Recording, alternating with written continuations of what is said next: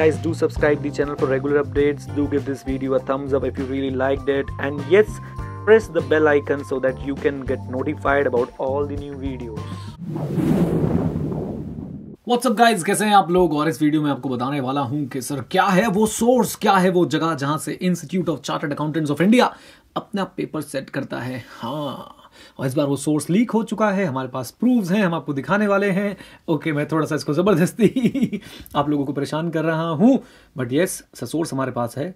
मैं आपको एक एक चीज़ बता सकता हूँ, सर। और हाँ उस सोर्स को देख के ज़रा मुझे बताइएगा कि कम से कम कितने मार्क्स स्कोर होने चाहिए, सर, इस बार के अकाउंट्स के पेपर में। तो मैं आपको दिखा रहा हूँ अपने अकाउंट्स के पेपर का एक एनालिसिस और मैं बातचीत करूँगा। सर, कहाँ से आया था पेपर कौन सा क्वेश्चन कहाँ से था? और वो सब लोग जो बोलते रहते हैं, सारे पेपर हमारी बुक से आते हैं, जी।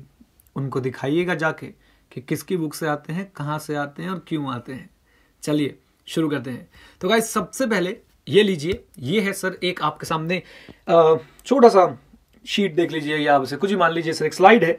और इसमें मैंने क्या किया है, आप देखिए, सबसे पहला कॉलम जो है वो है क्वेश्चन नंबर उसके बाद आता है हमारे पास क्या? Topic then we have the source then there is comment and finally क्या आते हैं? मार्क्स सो गाइज़ ये कंपाइलेशन मदद करी है मेरी। इसमें इस कंपाइलेशन में मदद करी एक स्टूडेंट ने। अकाउंट्स मेरा सब्जेक्ट नहीं है।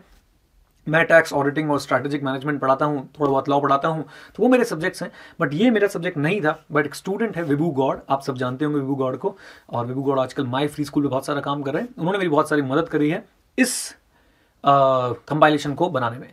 सो so, आप लोग आ, एक काम करिए, नीचे जरा लिंक में चेक कर लीजिएगा माई फ्री स्कूल का लिंक है, उसे भी चेक करके आइएगा।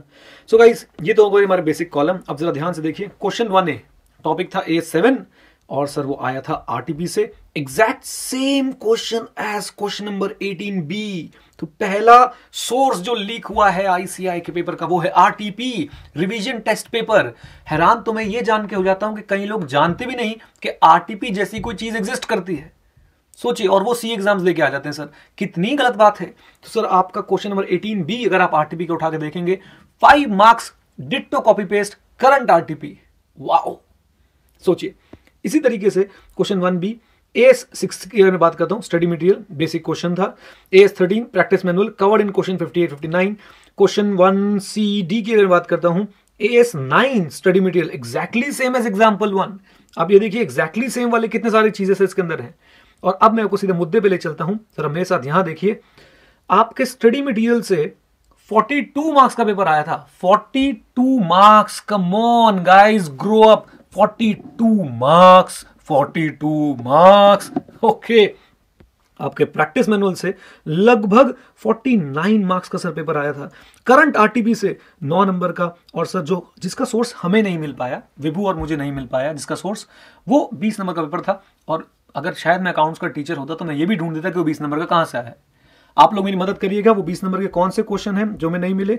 आपका पेपर में question number seven A question number seven A sorry sorry sorry आपके पेपर में क्वेश्चन नंबर सेवन डी एक ऐसा था जो मैं समझ नहीं आया और क्वेश्चन नंबर सिक्स एक ऐसा था जो समझ नहीं आया। बस, समझ नहीं आया इन द सेंस हमें उसका सोर्स नहीं पता चल पाया कि वो कहाँ से आए हैं। ठीक है तो अगर आपको पता चले तो हमें ज़रूर बताइएगा। बाकी सारा सोर्स ये रहा आपके सामने से।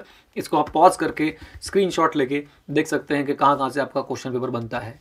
एक बात मैं पिछले चार साल से चिल्ला रहा हूँ इस चैनल पे, चार साल से। भाइयों और उनकी बहनों प्रैक्टिस मैनुअल पढ़ लो, मौका है। बाकी सारी किताबें, धोखा है। सर, आपकी खुद की तो खुद की बुक्स आती हैं। सर, मैं अपनी बुक में फ्रंट पेज पे साफ़ साफ़ लिखता हूँ this is not a substitute of the study material and practice manual provided by institute of chartered accountants of India actually में कोई भी बुक कभी भी उनका सब्सिट्यूट हो ही नहीं सकती है। ठीक है ना? Current RTP study material practice manual best हैं सजेस्टेड आंसर्स बेस्ट हैं। फॉलो करें। हर टीचर ने क्या किया है सर अपने क्वेश्चंस उन्हीं से बनाए हैं। बस।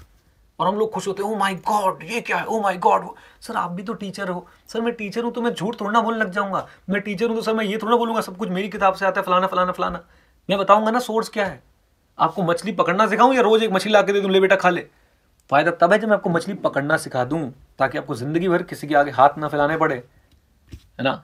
तो गाइज़ प्लीज़ एक बात अपने दिमाग में डाल लीजिए, आपके एग्ज़ाम्स अगर मई 2017 में है तो भी सर लगभग ऐसा ही काम होने वाला है। और अब सोच के बताइए, मैंने आपसे वीडियो की शुरुआत में बोला था, अब आप लोग मुझे बताएँगे कि कम से कम कितने नंबर आने चाहिए सर अकाउंट्स के पेपर में? 120 नंबर का पेपर था 100 नंबर का पूरा पेपर आपका स्टडी मेंटल प्रैक्टिस में और आरटीपी से था। 20 नंबर का पेपर हम लोकेट नहीं कर पा रहे। चलिए और वो भी ऑप्शनल वाला है। क्वेश्चन छह, आप छोड़ सकते थे। क्वेश्चन नंबर सात का एक पार्ट आप छोड़ सकते थे। Right just think over it सौ नंबर का पेपर सर आपके आँखों के सामने से निकला हुआ अगर पेपर में आए तो क्या बात है सर तभी तो अकाउंट्स में नंबर आते हैं। नब्बे, सौ नब्बे, सौ। तो इस बार भी सौ नंबर तो आने चाहिए सर सोच के देखिए। सो गाइज़ यही है मूल मंत्र। यही है सर सबसे अच्छी बात। अगर आप लोगों को होना है पास तो मानिए मेरी बात। स्टडी मेटल प्रैक्टिस में उठा लीजिए और छा जाइए। राइट गाइज़ और हाँ एक बात की कसम है तुम सबको। भाई, वीडियो को शेयर ज़रूर करना, क्योंकि इस वीडियो में यार मैं इतना क्यों वीडियो बना रहा हूँ आप लोगों के लिए? क्यों? अरे यार, तुम सोचो, मैं तुम्हें एक बात सिखाना चाहता हूँ कि भाई स्टडी मेटल प्रैक्टिस में आप लोग इस बात की अवेयरनेस को फैलाएँ। जो टीचर्स ये स्टडी मेटल प्रैक्टिस में को रेफर नहीं करवाते जो टीचर बोलते हैं कि स्टडी मेटल प्रैक्टिस बेकार है, उन तक पहुंचाएँ इस बात को। स्टूडेंट्स तक पहुंचाएँ। जागरूकता awareness is the best thing right चलिए सर, यहाँ मेरा काम समाप्त होता है, आपका काम शुरू होता है, वीडियो को देखने के बाद लाइक ज़रूर करेगा अगर चैनल को सब्सक्राइब नहीं कर रखा तो जुड़ो, सब्सक्राइब करो सर, अस्सी हज़ार हो गए हैं, एक लाख का टारगेट है गिव अवे आ रहा है कैश बांटेंगे सर चैनल पे हार्ड कैश तो तैयार रहिए, एक लाख सब्सक्राइबर्स पे जरा पहुँचने में हमारी मदद कीजिए, और बस स्टे कनेक्टेड स्टे हेड जय हिंद, और हाँ सीखते रहें, क्योंकि सीखना बंद तो जीतना बंद।